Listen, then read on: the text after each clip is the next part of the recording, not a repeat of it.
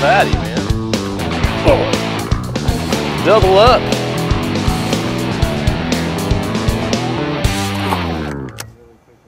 Oh, wow, yeah, I can see.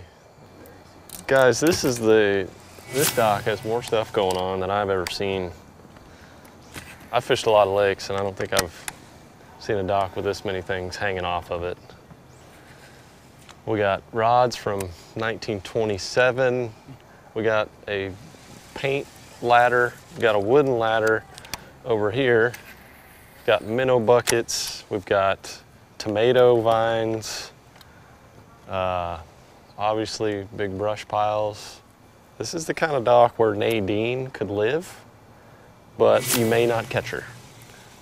You may not be able to get her in. You may not be able to get her out, that's right. She's probably in there. I'm liking that little bitty cypress tree right there, though. That is a Christmas tree. Storage. Yes, sir. Yes. Yeah. That. That's not Nadine, but that's one of her younger cousins. And, uh, golly, you just gotta love a good jig bite. That is a great jig bite. Ooh, Got her yeah. out. That was Got awesome, her- That guys. was impressive. Got her out. That's why you use heavy gear when you're fishing around these docks. You never want to pass up a dock that looks like this. Don't be intimidated by it. Go right in the middle of it. Just get in there. If you break off, oh well. But you're going to catch some good fish off of it. That's right. They're living there. Nice one. Got to smell you.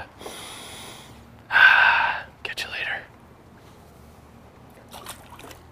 Good catch. We're going to go. Thanks for the fight. Go get bigger.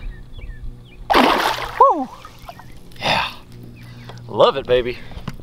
Without even deflecting off a piece of cover, it does that in an open water situation.